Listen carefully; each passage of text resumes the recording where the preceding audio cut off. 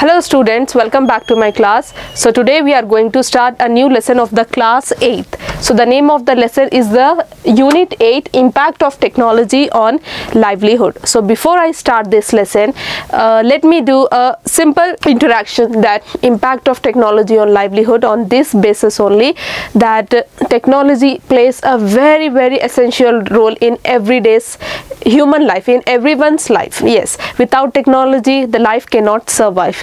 Right now our whole work is dependent on technology. Whatever we are using in our day-to-day life it is because of the usage of the technology whether it is a smartphones whether it is a work whether it is a office work all things are dependent on the technology. So without technology the life cannot survive. So this lesson is a very interesting and uh, what i should say the things which we use in our day-to-day life is based on that only. So without any further delay let's start. The first topic is the changes in technology so the first subtopic that we are going to start is the changes in technology how the technology is changing from the past to the present and how it is going to get advanced day by day. Technology is something that we see use in every day to day life. Whenever you talk on your mobile phone switch on the tv or work on your computer you are using the latest technology. Technology is the practical application of knowledge in our everyday lives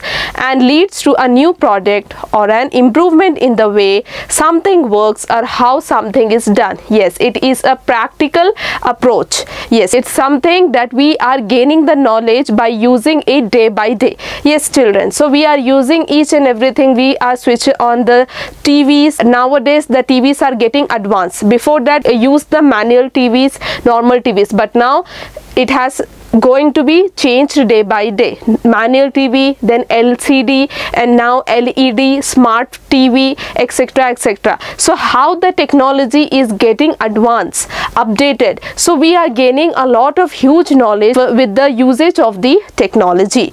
Yes it is something that we can gain the knowledge and it is something that can give us the negative impact in our life also. So it is depend on us how we use the technology and how we are going to take it in a better way yes everything has the pros and cons advantages and disadvantages it is up to us how we are going to consider it use it in our daily life. And what i was saying is that even when you sharpen your pencil you use instrument. If you are sharpening a pencil also it needs an instrument. What that instrument name is is that sharpener.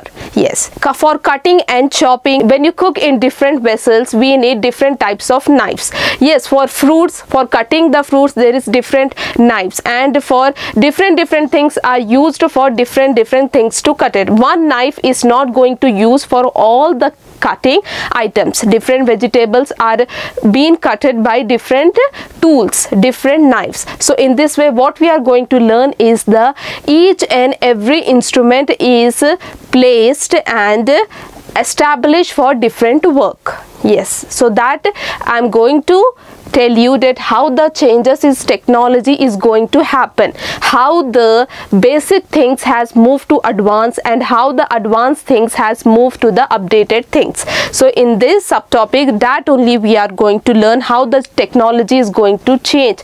For example that i can give is the before the telephones were used yes after that that small manual phones were used. And after that what happened? That flip mobile phones has been introduced in the world. And after right now what we are using? We are using the latest advanced technology smartphones which is going to provide all in one yes there is calendar there is time. There we can call there we can messages take the photos record the videos and browse the internet. Each and everything. So that is why i'm saying it is an advanced smartphone that we are using in our generation. So how the technology is getting changed we are learning that only. Technology can be found at home in a factory for communication and transport. Yes so whatever we are doing in our life is completely based on the technology. If we are cooking and we want something to be a paste or else what I should say something we need to grind it. We need a soft batter. So what we will do? We will use a mixer. We will use a grinder or else we will use a food processor. So all these are the uh, what I should say the products which are made of the technology yes. And what else for communication and transport? For communication what did I said? Best example is the smartphones. Not only for communication is it is a multi-purpose communication device that provides each and everything communication and social interaction information and uh, basic information about the temperature about the day about the calendar and uh, each and everything our work is done on the tips. Yes just by touch we can do our work. Just by clicking on the send we can send the mails to anywhere. Within the minutes we can send our messages in any parts of the world. And transport. Yes for transportations also we are using advanced vehicles. Day by day the vehicles are getting advanced. So all this is happening due to the changes in the technology. Think of all the complicated machinery and technology used nowadays in space explorations, in factories for transport and so on. Technology has developed over time and you have learned about the industrial revolution and how there was a tremendous change in the methods of production during the 18th and 19th century. Yes, so in these changes in technology, there is a one concept that has given in your textbook is the industrial revolution so what is this industrial revolution? Industrial revolution is all about machineries and uh, technologies which has been uh, established by the britishers in our country. In which century? In the 18th and the 19th century. So this industrial revolution has been brought up by the uh, britishers and with their concepts and with their terms conditions and with their technologies and machineries we have continued our industries and factories how they perform the work and how they have introduced the machineries in the 18th and 19th century. We are continuing that only. First introduction of the machines and technology was introduced by the britishers in the year in the centuries of the 18th and 19th so the first introduction which the industrial revolution has brought up in the 18th and 19th century was the steam engine. Yes so the steam engine was introduced by them only by the britishers and everybody know how the steam engine was used to change many production process in factories. So this steam engine has been used in the factories and industries for production of the for production and manufacturing the products. Later on with the invention and discovery of new sources of energy such as electricity, factories as we see them today emerged. Emerged means come out. Yes, so later on the sources of energy has been introduced. New new methods, new new forms has been introduced to advance the technology methods. So electricity has been used before that. Steam engine use होता था and after that they have improved their technology in terms of electricity and survived uh, in the factories and in the what should I say in the uh, industries yes when a new machine or method of production is created for the first time it is called invention yes so when any machinery or any technology is introduced in the factory or in the industry yes for the production method of production is created for the first time. It is called invention. Okay? Invention is nothing where the technology or machine is used for the method of production for the first time However, practical application of these ideas take a long time and depend on many factories. Yes, if they have introduced also they have to use in their factories it takes a lot of time because new new machineries, new new technologies are not used by each and every worker.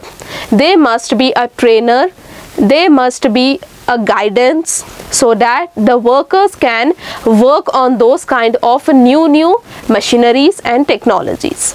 This could be improvements to make the technology effective, reducing cost of new techniques, acceptance of a new way of product. So while using the new technology students, what will happen? The work will get reduced, the time will get reduced and so many products will going to be established in that factory. And what is happening? The new thing that the workers are going to learn is the working on the technology acceptance of the new new methods. Like as i said that everyone is not familiar with the new techniques with the new methods how to use the technology.